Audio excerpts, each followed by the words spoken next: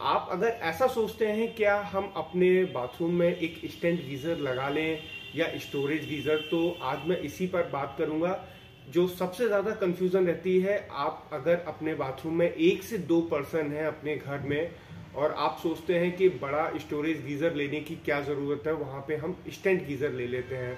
तो चलिए इसी पर पूरी बात करते हैं, क्या स्टैंड गीजर हम अपने बाथरूम में लगा सकते हैं? क्योंकि ये जो होता है स्टैंड गीजर ये किचन में काम आता है।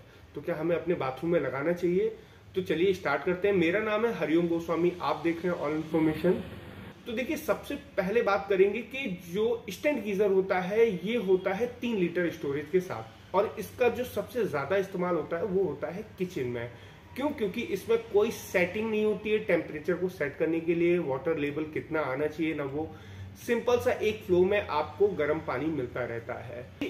ये है स्टैंड गीजर आप लुक देख लीजिए। ये हेवल्स का स्टैंड गीजर है। सभी स्टैंड गीजरों का लुक ऑलमोस्ट थोड़ा बड़ा सेम ही रहता है और ये हेवल्स का है, तीन लीटर स्टोरेज के साथ है। तो अब इसका सही इस्तेमाल कहाँ पे होता है? तो मैं बता दूँ, ये किचन में भी होता है और बहुत लोग अपने बाथरूम में यूज़ करने लगते हैं। तो देखिए इसको यूज़ करने का तरीका मैं आपको बता देता हूँ, अगर आप लगाना चाह रहे हैं तो सबसे पहले हम ये समझेंगे कि अगर एक स्टेंट गीजर, अगर बाथरूम में आपकी पूरी नीड को फुलफिल करने लगेगा तो ध्यान रखिएगा स्टोरेज गीजर की कोई ज़रूरत नहीं पड़ेगी। तो देखिए, दोनों गीजर जो है अपनी अपनी जगह पे बेस्ट है, इसीलिए कंपनी ने उनको डिज़ाइन किया है। अगर स्टेंट गीजर आपके बाथरूम में भी लग जा रहा है और आपके किचन में भी लग जा रहा है तो स्टोरेज गीजर की कोई ज़रूरत नहीं होगी और कोई नहीं लगवाएगा। इसको लगाने के बाद कुछ ऐसे ऑप्शन है, कुछ ऐसे नोटिस हैं जिनको ध्यान में रख कर ही आप अगर अपने बाथरूम में लगाएँगे तो यूज़ करेंगे। तो ठीक है, एक से दो परसेंट के लिए सफिशियंट है। और आपको ये यूज़ कैसे करना है, मैं आपको बता दे रहा हूँ। इसमें ध्यान रखिएगा, इसमें कोई टेम्परेचर सेटिंग नहीं होती है। तो अगर आपके बाथरूम में लगा हुआ है और आप पानी ऑन करेंगे तो स्टेंट जो हो सकता है टेम्परेचर हाई हो जाए। हो सकता है कि ये आपको पानी ऑन करने के बाद काफ़ी हाई टेम्परेचर पर पानी को गिराए और हो सकता है थोड़ी देर के बाद उसके पानी का टेम्परेचर कम हो जाए। तो इस चीज़ का बहुत ज़्यादा ध्यान रखना पड़ता है।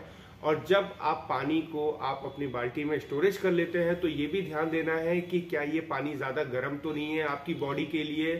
तो स्टेंट गीजर के साथ कुछ ऐसे ऑप्शन होते हैं जो हमें करने होते हैं। बिल्कुल ध्यान से उतरने नहीं चाहिए। अगर आप जरा सा भी ध्यान से उतर जाएगा और आप जल्दबाजी में पानी डाल सकते हैं अपने ऊपर तो हो सकता है आपकी बॉडी जल जाए। तो इस चीज़ का ध्यान रखिएगा।